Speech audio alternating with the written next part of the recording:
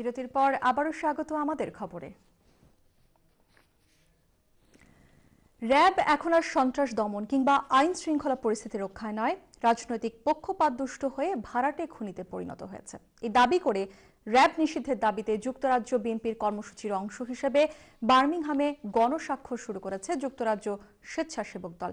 আমাদের মিডল্যান্ড প্রতিনিধি আতিকুর রহমান জানান, রোববার স্থানীয় একটি হলে সমীর আলীর সভাপতিত্বে এবং রেজাউল ইসলাম বিল্লা এবং বাবরুল ইসলামের যৌথ পরিচালনায় অনুষ্ঠানে উপস্থিত ছিলেন যুক্তরাজ্য স্বেচ্ছাসেবক দলের সদস্য সচিব আবুল হোসেন। উপস্থিত ছিলেন সুজাতুর রেজা, জালাল চৌধুরী, জাহিদ চৌধুরী, হরমুজ আলী, খন্দকার শাহ আলম, গুলজার আহমদ ফয়সল সহ বিএনপি ও অঙ্গ সংগঠনের নেতাকর্মীরা।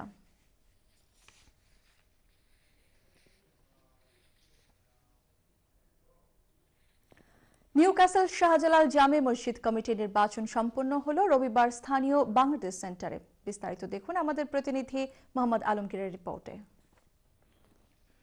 উদযাপন এবং আনন্দের মাঝে সম্পন্ন হলো নিউকাসেল শাহজালাল জামে মসজিদের সাধারণ নির্বাচন। দুটি নির্বাচিত দল যথাক্রমে আফসার হোসেন কুরেশি প্যানেল এবং ফজলুল করিম প্যানেল নির্বাচনে প্রতিদ্বন্দ্বিতা করেন। সকাল থেকে নিউকাসেলের ধর্মপ্রাণ মুসল্লিরা নিউকাসেল বাংলাদেশ সেন্টারে ভোটের জন্য জড়িত হন। সুস্থ এবং সুন্দরভাবে নির্বাচন সম্পন্ন হয়। বিকাল ছটায় কাউন্সিলর হাবিবুর রহমানের তত্ত্বাবধানে ভোটের গণনা শেষে রেজাল্ট ঘোষণা করেন councillor Nigel Tott. And the winning panel uh, for the overall panel election was the Qureshi panel with 429 votes. I'd like to congratulate everyone.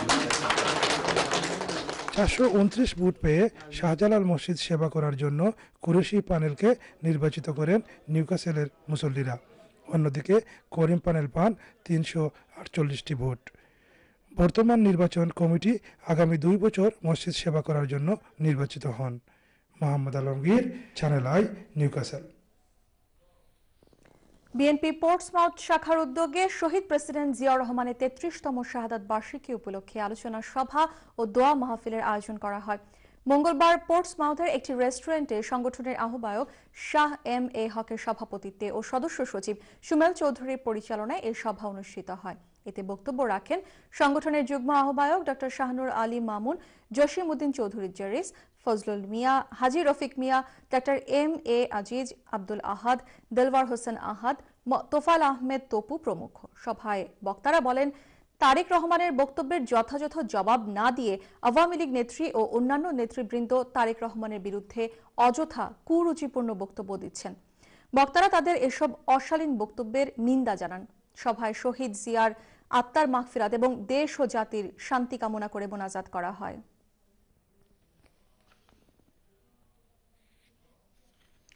কোরআন সুন্নার আলোকে দিক নির্দেশনা দিতে ভেনিস কমুনে মহিলাদের নিয়ে বিশেষ ধর্মীয় অনুষ্ঠানের আয়োজন করে।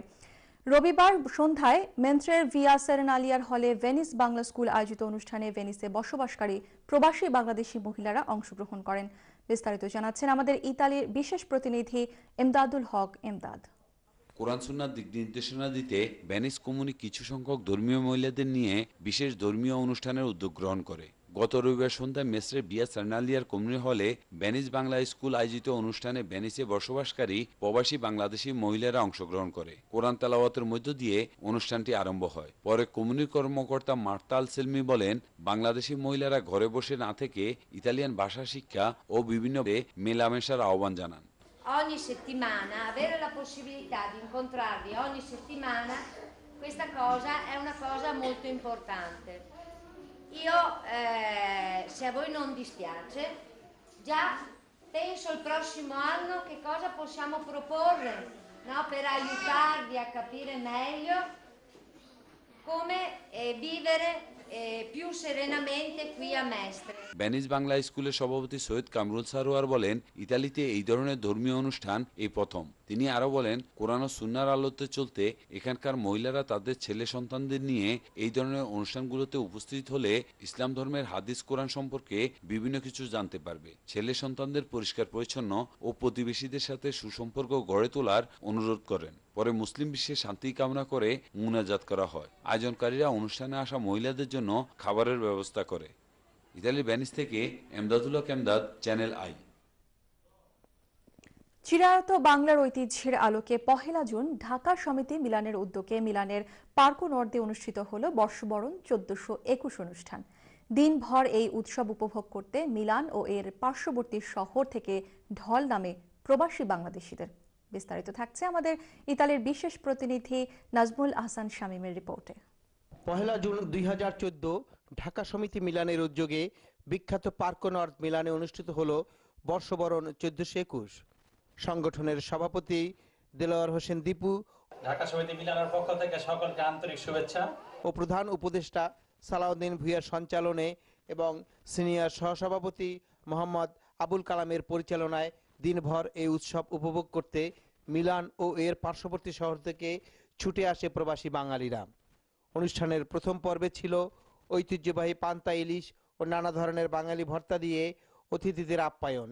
দ্বিতীয় পর্বে শিশু, কিশোর ও মহিলাদের জন্য ক্রীড়া প্রতিযোগিতা এবং তৃতীয় পর্বে মিলানের জনপ্রিয় শিল্পী সুলতানা খান, নিতু ফারজানা, আনোয়ার ও চ্যানেল আইসেরা কণ্ঠের শিল্পী সোহানের পরিবেশনা অনুষ্ঠিত হয় মনজ্ঞ সাংস্কৃতিক অনুষ্ঠান।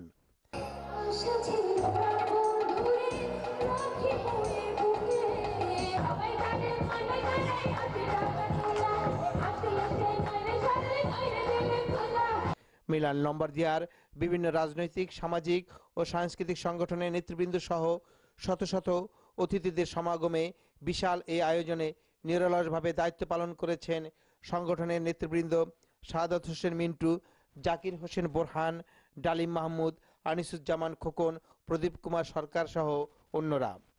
অনুষ্ঠানের বিশেষ আকর্ষণ ছিল বাংলাদেশ মহিলা সমিতি মিলানের আয়োজনে পিঠা পায়েসের স্টল। উৎসবের শেষাংশে ক্রীড়া প্রতিযোগিতায় এবং পিঠা প্রতিযোগিতায় বিজয়ীদেরকে পুরস্কার প্রদান করেন সংগঠনের নেতৃবৃন্দ। মাতৃভূমি হতে হাজারো মাইল দূরে থেকে বৈশাখের এই আয়োজনে আগত অতিথিরা কিছুটা সময়ের জন্য হলেও ফিরে গেছেন নারীর টানে। ইতালির মিলান থেকে নাজমুল হাসান শামীম চ্যানেল আই বিএনপির senior vice chairman Tarique Rahman, Bangabandhu Sheikh Mujibur রহমানকে নিয়ে কটূক্তিকর মন্তব্য করায় এর প্রতিবাদে সোমবার হাইটের একটি রেস্তোরাঁয় প্রতিবাদ সমাবেশ করেছে যুক্তরাজ্য হাইট শাখা আওয়ামী লীগ। আমাদের ওল্ড হ্যাম প্রতিনিধি মদুদ আহমেদ জানান হাইট আওয়ামী লীগ সভাপতি হেদায়তুল ইসলাম নওয়াবের সভাপতিত্বে এবং সেক্রেটারি সুরত মিয়ার পরিচালনায় প্রতিবাদ সমাবেশে বক্তব্য রাখেন আবুল কালাম আজাদ, খয়রুল ইসলাম, আবুল কাশেম শানুর, মোহাম্মদ আজহার খান, ইকবাল আহমেদ, আসাদ মিয়া প্রমুখ। প্রতিবাদ সমাবেশে বক্তারা তারেক জিয়ার বক্তব্যে তীব্র নিন্দা জানিয়ে বলেন, বাংলাদেশের স্বাধীনতা স্থপতি বঙ্গবন্ধু শেখ মুজিবুর রহমানকে নিয়ে তারেক রহমানের বক্তব্য রাজনৈতিক শিষ্টাচার বহির্ভূত এবং বিভ্রান্তি সৃষ্টির কৌশল মাত্র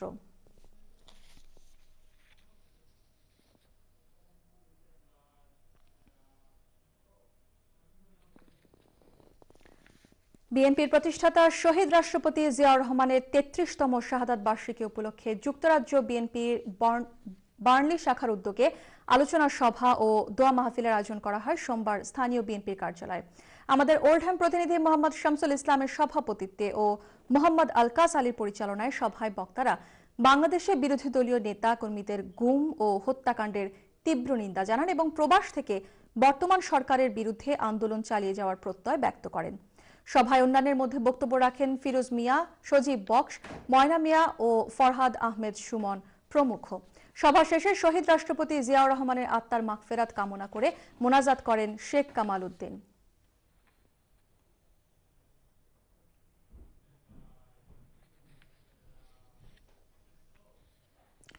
রোববার বার্মিংহামের আস্টনে আঞ্জুমানে আল ইসলা বার্মিংহাম শাখা ও আস্টন জালালাবাদ সুন্নি জামে মসজিদের উদ্যোগে পবিত্র শবে মেরাজ পালন করা হয়।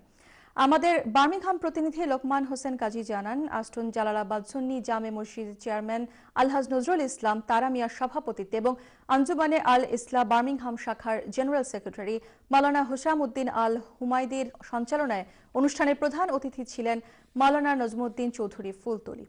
অনুষ্ঠানে উপস্থিত ছিলেন মাওলানা কাদির আল হাসান, মাওলানা কারি সেলিম উদ্দিন প্রমুখ।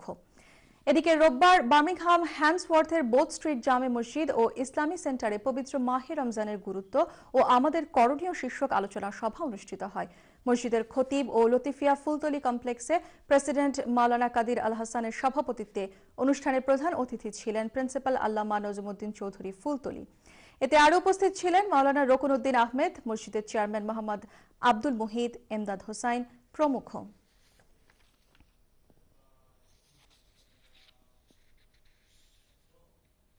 এবার একটি শোক সংবাদ, মিডিয়া ব্যক্তিত্ব হাসিনা মমতাজ ও শিক্ষা সংস্কৃতি, সমাজ কল্যাণ সংগঠক, দেশ বিদেশের সাবেক সহসভাপতি জহিরুদ্দিনের একমাত্র ছেলে জারিফ আহমেদ সামি মর্মান্তিক মোটরসাইকেল দুর্ঘটনায় গত রবিবার গভীর রাতে লন্ডনের ক্রয়টনে মৃত্যুবরণ করেছেন। ইন্নালিল্লাহি বা ইন্না ইলাহি রাজিয়ন তার বয়স হয়েছিল আঠারো বছর। সামির মৃত্যুতে চ্যানেল আই পরিবার গভীর শোক ও সমবেদনা জানিয়েছে। দর্শক, এই ছিল আমাদের আজকের আয়োজন। শেষ করার আগে আবারও জানিয়ে দিচ্ছি খবরের প্রধান প্রধান শিরোনামগুলো।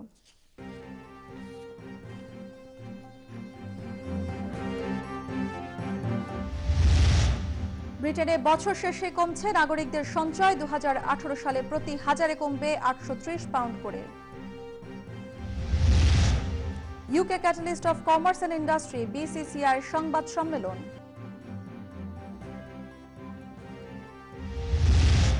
লন্ডন সহ যুক্তরাজ্যের বিভিন্ন স্থানে শহীদ জিয়ার মৃত্যুবার্ষিকী পালিত।